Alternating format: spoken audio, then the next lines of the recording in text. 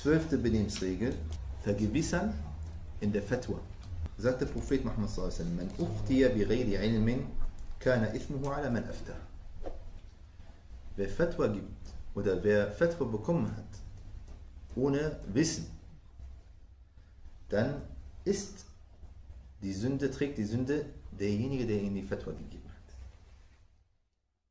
Deswegen ein Talib Ilm, sich richtig vergewissern, darf nicht einfach ohne Kontrolle und so weiter einfach etwas weitertragen, was der gesagt hat, was der gesagt hat, oder Fatwa übertragen,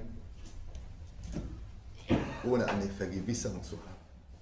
Und genauso braucht er auch Vergewisserung, was er von seinem Lehrer und von seinem Sheikh lernt. Weil viel, viele Situationen hat er eine Sache falsch verstanden und gibt er weiter. Deswegen ist es sehr, sehr wichtig, bei Sachen, die noch nicht sitzen, dass man da nicht voreilig ist, weiterzugeben und einfach so äh, zu, zu betragen oder Sitzung zu machen. Manche sagen, äh, sind noch nicht reif und machen Sitzungen und lehren weiter. Die haben große Verantwortung. Weil die Reife und das Wissen und das Vergewissern und mit den Büchern umgehen, das bekommt man nicht auf die Schnelle.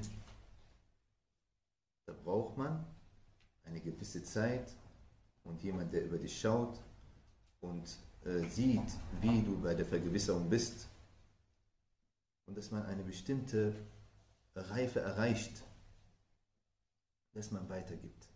Aber schnell, voreilig nicht. Das ist eine große Verantwortung. Wenn man äh, Fatwa macht und äh, sozusagen ohne Vergewisserung, dann trägt er die äh, Verantwortung für jemanden, der falsch praktiziert. Das ist bei einer Person. Wie ist es, wenn jemand jetzt eine Sitzung macht? Dann sind das viele Personen.